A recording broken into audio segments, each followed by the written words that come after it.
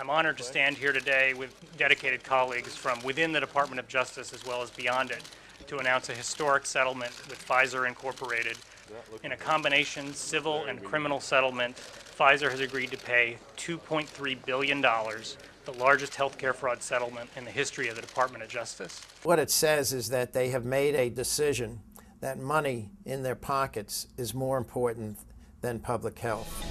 FDA has issued an alert to health professionals on emerging safety concerns about the antibiotic Zyvox. The study showed that patients on Zyvox had a higher chance of death than with any of the other drugs. In the case of Zyvox, which is a very heavy duty antibiotic, they were given a warning letter, which is the most serious thing the FDA can do. They ignored that. This is true of all these drugs that are involved in this settlement, whether it be Geodon, which is an antipsychotic, which was illegally marketed, criminally marketed, Zyvox, Lyrica, and Bextra.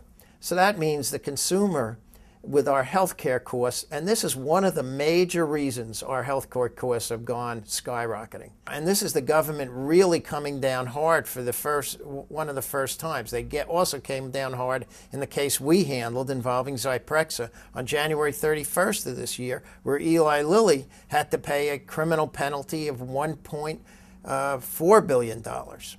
Now, that was the biggest single drug payment of a fine in history of the government. Biggest, and we're involved in that this year too. From our firm's standpoint, this is the kind of work that lawyers should be doing. As of this date, our firm for the United States has been involved in the recovery of $3.7 billion in nine months.